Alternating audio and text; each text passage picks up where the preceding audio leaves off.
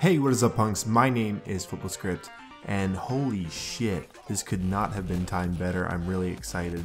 Uh, I'm sorry that I've been gone for a while. I know that sometimes I go away and they're for stupid reasons. Uh, this time I finally actually moved out of my parents' house and I moved in with my girlfriend and now I finally have internet. So that's been about four months.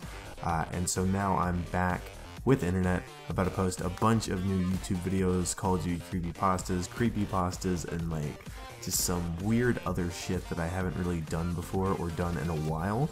And it's really cool because I've shot up so many new subscribers and I have so many more video views I have no idea why. I should probably look deeper into that, but needless to say, that's pretty cool. So if you're new here and watching me for the first time, other than the videos that you've seen, hi, I hope you enjoy your stay, and be sure to check out all the other videos that you haven't.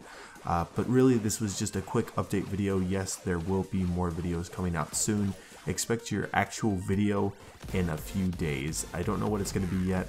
Uh, comment down below what you want it to be, and that may persuade me to post a creepypasta next or something else. Let me know. Either way, you guys will get a video in a few days. Peace out.